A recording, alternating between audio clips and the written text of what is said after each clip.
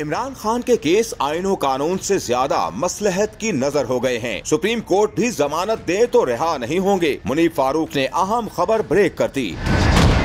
एक निजी टीवी के प्रोग्राम में गुफ्तगू करते हुए सीनियर सहाफी मुनीफ फारूक का कहना है कि इमरान खान को साइफर केस में सुप्रीम कोर्ट से जमानत मिल भी जाती है तो वो फिर भी बाहर नहीं आएँगे, क्योंकि कुछ ऐसा अरेंजमेंट कर लिया गया है कि अगर जमानत हो भी जाए तो पहले से एक बैकअप मौजूद होगा, जिसमें अगर कोई निकलने की कोशिश करे तो उसको किसी दूसरे मामले में वहीं रोक लिया जाए।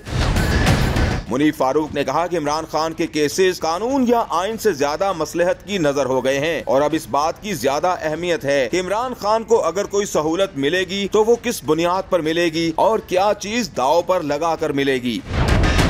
मुनीफ फारूक ने मजीद कहा की इमरान खान के वकला अदालत के सामने पहले दिन से ही ज़ोर डाल रहे हैं की इमरान खान को अदालत में बुलाया जाए। लेकिन इस्लामाबाद हाई कोर्ट ने एक मरतबा भी नहीं कहा कि इमरान खान को बुलाया जाए और पोस्ट अरेस्ट बेल में ज़रूरी भी नहीं होता कि उस शख्स की मौजूदगी भी हो। लेकिन ये केस अपनी नौयत का केस है, जिसकी सजा बहुत सख्त है और इसमें ज़्यादा सजा उम्र कैद है और इससे ज़्यादा सजाए मौत है। तो इमरान खान के वकला अदालत से इस्तेदा कर सकते हैं कि मेरे क्लाइंट को किसी जगह बोलने की और सफ़ाई पेश करने की गुंजाइश दी जाए।